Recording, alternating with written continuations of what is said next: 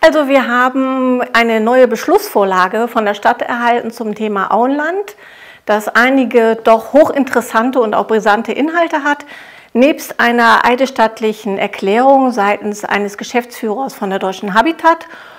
Und das hat uns alles, gelinde gesagt, ein wenig erstaunt. Also neu ist einerseits, dass meines Wissens nach die Fraktionen nichts von dieser neuen Beschlussvorlage wissen dass es also auch eine Beschlussvorlage seitens der Stadt ist, die noch nicht in den Fraktionen überhaupt angekommen ist. Und in ihr steht drin, insofern sollen im neuen Quartier ausschließlich Gebiete für Wohnen entstehen. Es werden keine Sondergebiete festgesetzt. Das bedeutet im Umkehrschluss kein Kindergarten, keine Altenwohnstätte, kein Pumptrack, kein irgendwas, sondern lediglich ein Wohnsilo.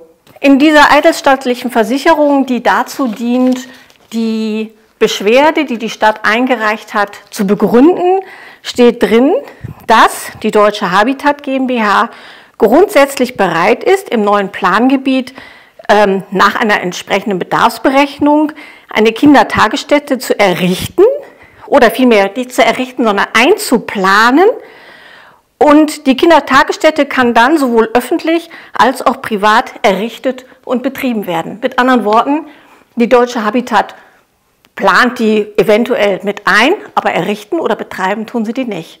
Das heißt also, das Geschenk, mit dem geworben wurde, warum wir dieses Baugebiet in der Größe da brauchen, gibt es nicht mehr.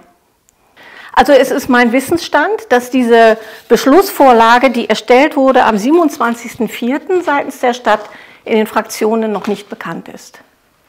Das hat zur Konsequenz, dass dem Gericht Unterlagen eingereicht wird, ohne es vorher mit den politischen Vertretern überhaupt besprochen zu haben. Also in dem Fall muss die Politik ja im Moment sowieso noch gar nichts entscheiden, weil es ja einen Gerichtsentscheid gibt, der im Moment ja eine Planung sowieso unterbindet. Das heißt, die Politik hätte höchstens einmal darüber informiert werden müssen, was denn als Beschwerdebegründung überhaupt von der Stadt eingereicht wird. Und das ist nicht der Fall.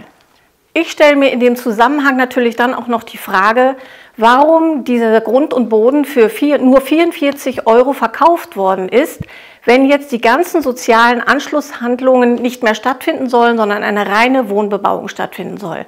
Darüber hinaus konnte ich auch nicht feststellen, dass hier überhaupt noch von 30 Prozent Sozialwohnungen, die ja uns immer wieder ähm, mitgeteilt werden, dass es die geben soll. Davon steht auch weder in der eidesstattlichen Verfügung oder Erklärung noch in der Beschlussvorlage irgendetwas drin. Also ich habe den Eindruck, dass hier statt des großen Leuchtturmprojektes doch eher ein Wohnsilo gebaut werden soll. Und diese Frage hätte ich jetzt gerne auch von den Kommunalpolitikern beantwortet. Was von beiden soll es denn werden? Unbeachtlich mal der Tatsache, dass es nicht im Auenland stattfinden soll. Weitere Informationen und Termine aus der Region finden Sie auf dem Online-Portal Ihres Stadtmagazins.